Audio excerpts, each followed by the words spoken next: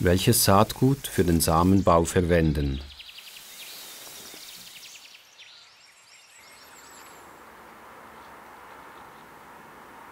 Die Herkunft der Pflanzen, die im Garten als Samenträger angebaut werden, muss bekannt sein.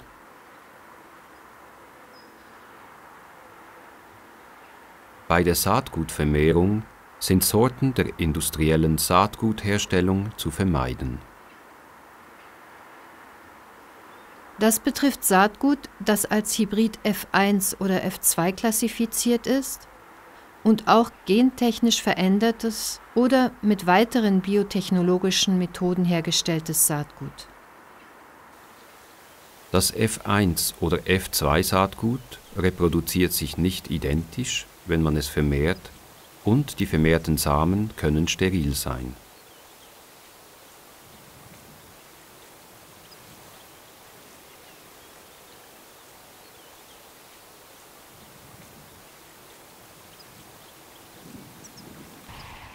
Diese technologische Verriegelung ermöglicht es den multinationalen Saatgutkonzernen, die freie Vermehrung ihrer Sorten zu verhindern und ermöglicht ihre Monopolstellung. Die technologische Verriegelung bestärkt gleichzeitig das juristische Verbot der Vermehrung dieser Sorten.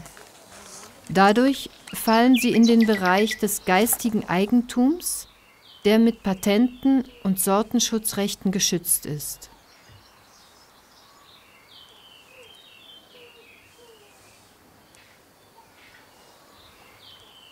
Die sortenechte Vermehrung über Samen gelingt nur mit samenfesten Sorten. Das heißt, dass nur offen abblühende Sorten vermehrt werden, die aus biologischem, biodynamischem oder agroökologischem Anbau stammen.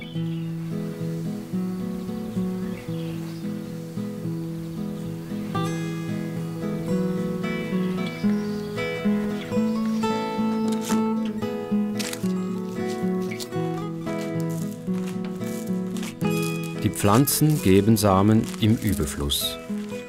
So wird meistens viel mehr Saatgut geerntet, als man für den Eigenanbau brauchen kann.